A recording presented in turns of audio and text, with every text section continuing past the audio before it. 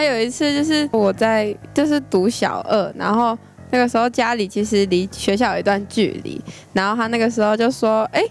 哦，你放学了，好，那你等五分钟，我去载你。然后就开始等，我从四点嘛下课，我就等到五点都还没有，因为那时候没有手机，然后我就借警卫室的电话打，他就说，哦，我转个弯就到。然后我说，啊，转个弯好，我就继续等，等等等，零六点七点，天已经暗了，然后还没有来，然后快要九点的时候，他还，那我就打电话过去，我就哭着问他说，你在哪里？他就说，哦，我还在炒菜呢，啊，怎么办？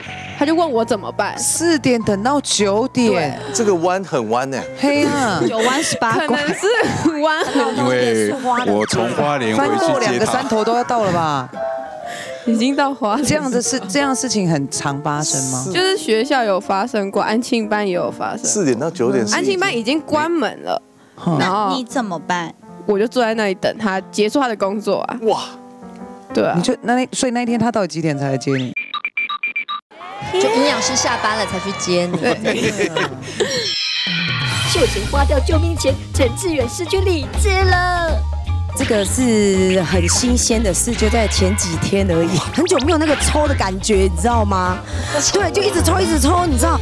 后来呢，就回去的时候，我想说，呃，怎么越来越薄，剩下两张，你知道吗？会那一笔钱是我要用在我家人身上。哦，刚刚不是叫你不要急吗？你一直叫他过去抱你。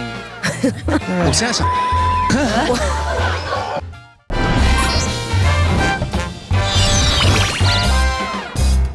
那现在呢？我可以，我可以天天陪着你都没问题，对。好像又没有做到这件事情，己上课。真的哦，你哎，那他现在还没 十八，你还是可以继续送啊。十五，我十五岁，所以你现在还是自己上下课。对，还可以还有三年可以弥补。